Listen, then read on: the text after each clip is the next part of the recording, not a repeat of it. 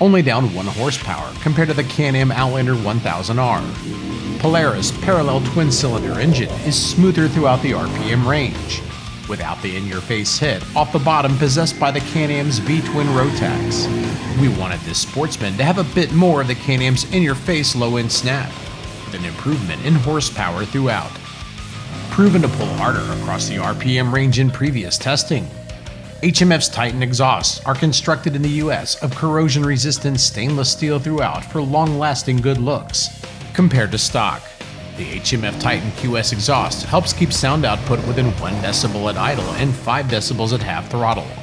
A spark arrestor comes standard, available in a full system only. HMF is claiming gains of up to 2 horsepower and 2 foot pounds of torque over stock, which should give it a horsepower edge over the Outlander. In previous testing, we thought its gains felt more substantial. HMF's Fuel Optimizer is a piggyback fuel injection controller that comes pre-programmed with a base map for HMF's exhausts. An onboard push-button interface allows for easy tuning with no computer needed. A must-have with an aftermarket exhaust, it's a welcomed add-on to lower operating temperatures and improve performance.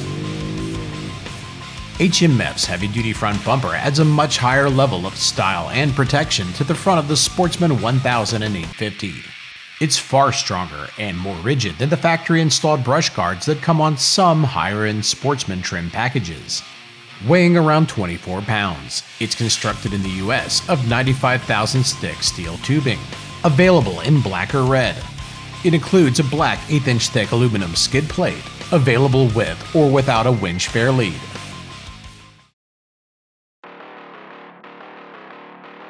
To test our Project Sportsman, we returned with cross country racer Evan Hartzell to the cross country race course at East Fork MX located in New Vienna, Ohio, the site of our 1000cc 4x4 ATV shootout.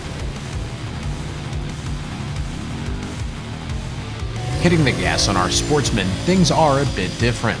HMF's increase in power seems focused on the mid range and up, Polaris Parallel Twin simply lacks the low-end snap of a Can-Am V-Twin, offering very manageable low-end power for a 1000.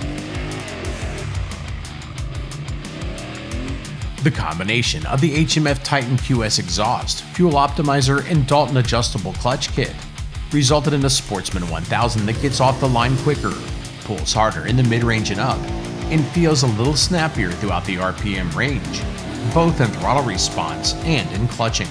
It's still the same smooth parallel twin with excessive power, but now with a racier feel.